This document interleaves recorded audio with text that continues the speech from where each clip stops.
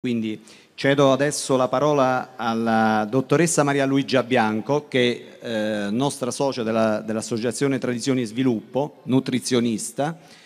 e che ci dirà anche lei qualche parola di sicuramente, non dico di conforto, ma almeno di incoraggiamento a mangiare prodotti genuini, stagionali, la cui provenienza sia certa, sperando che sia quanto più possibile del nostro territorio. Grazie. Buonasera a tutti, salve.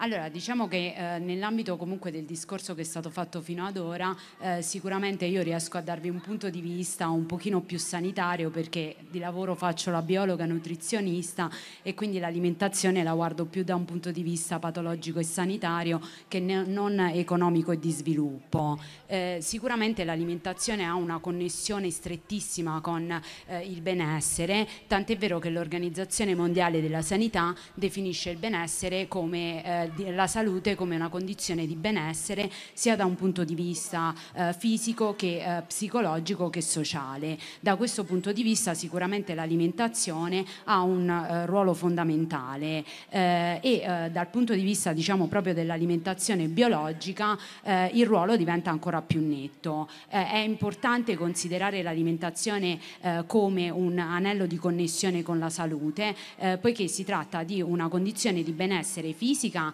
innanzitutto perché mm, una persona è in grado di eh, rimanere senza mangiare per un periodo di tempo che non va oltre le due settimane, dopodiché eh, si crea una situazione comunque di degenerazione corporea. Si parla comunque di una condizione di benessere anche da un punto di vista psicologico perché eh, i centri di controllo e della sazietà e della fame sono connessi a livello cerebrale con i centri di controllo dell'emotività e conseguentemente lì dove ehm, si parla di cibo c'è anche una connessione eh, emozionale e eh, il cibo ha ovviamente una ehm, connessione diretta eh, anche con la socialità perché eh, da sempre a livello storico comunque c'è stata una connessione del cibo con la convivialità e l'aggregazione delle comunità. Eh, è molto importante considerare che eh, l'alimentazione va vista da un punto di vista più curativo che non da un punto di vista essenziale, quindi come qualcosa che sia solo ed esclusivamente eh, necessaria per la sopravvivenza.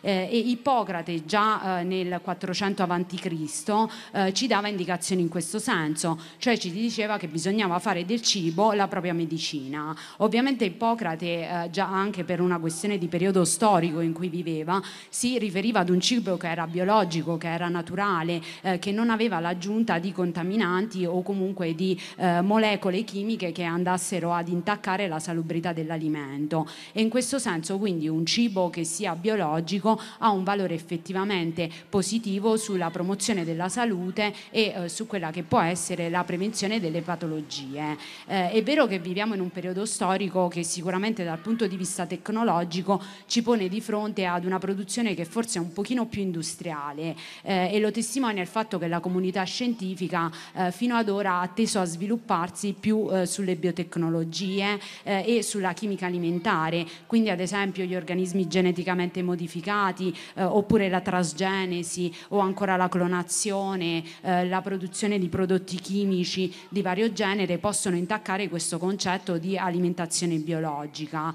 Eh, in realtà però diciamo che la comunità eh, scientifica ha creato un'inversione di marcia recentemente cercando di promuovere eh, il biologico e un'alimentazione che sia un pochino più di qualità. Tant'è vero che eh, le scienze dell'alimentazione recentemente si sono arricchite di una nuova disciplina che si chiama la nutraceutica ed è un'unione tra la nutrizione e eh, la eh, farmacologia, dove i vari eh, principi nutrizionali vengono considerati più come una cura eh, che non come eh, l'effettiva necessità fisiologica di alimentarsi. in questo senso quindi va ad introdursi un'alimentazione biologica che viene considerata più come un farmaco per la promozione della salute e il benessere che non come un elemento fondamentale solo per la sopravvivenza. È importante considerare che comunque ad oggi eh, la promozione dell'alimentazione biologica ci viene ovviamente anche da Expo, eh, visto che questo è l'anno eh, in cui c'è stato Expo e lo slogan è proprio quello di eh, nutrire il pianeta, eh, conseguentemente eh, di promuovere uno sviluppo che sia sostenibile e che allo stesso tempo aiuti l'uomo a comprendere quali sono le necessità biologiche.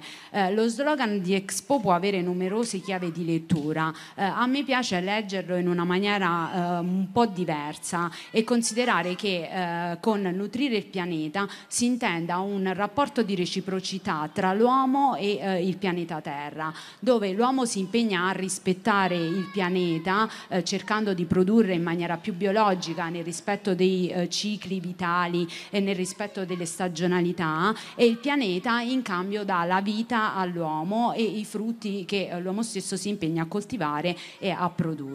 Eh, proprio in questo eh, settore quindi si dovrebbe andare ad inserire il Molise che mh, ad un primo acchitto quando si parla di Molise molta gente ti chiede oddio ma dov'è il Molise? Quando si parla di Sernia qualcuno non sa neanche dov'è. Eh, in realtà questa leggera arretratezza che a primo acchitto si può eh, vedere del Morise da un punto di vista industriale potrebbe essere il punto di forza perché eh, la non contaminazione del territorio molisano potrebbe essere il punto di partenza per uno sviluppo che sia effettivamente biologico e sostenibile. Eh, consideriamo ad esempio il fatto che potremmo essere una terra di pastorizia e ne abbiamo parlato finora con la questione dei eh, tratturi. Eh, in Molise potrebbe eh, crearsi una produzione sempre maggiore in termini di apicoltura e miele, eh, perché insomma eh, a Campitello si fa il miele di... Mh, mm,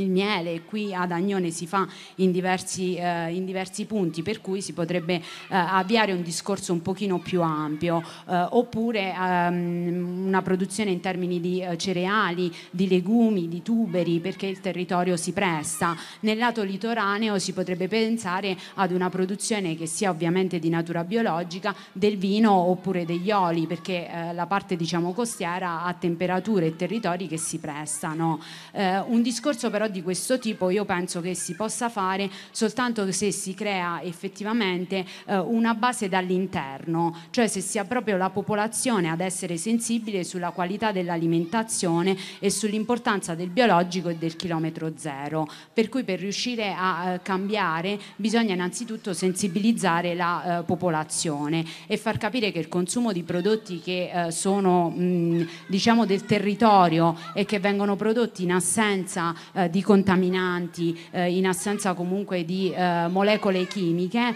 eh, è migliore rispetto alla produzione ovviamente industriale. Ci troviamo quindi di fronte ad un crocevia, cioè scegliere se preferire un'alimentazione a base industriale, ehm, a base di allevamenti intensivi e a base di pesticidi, oppure scegliere la qualità, che può essere una scelta un pochino più tortuosa, ma sicuramente migliore in prospettiva, soprattutto perché scegliere la semplicità la genuinità in prospettiva potrebbe creare una condizione che migliori e lo stato di salute e il benessere dell'individuo. Grazie.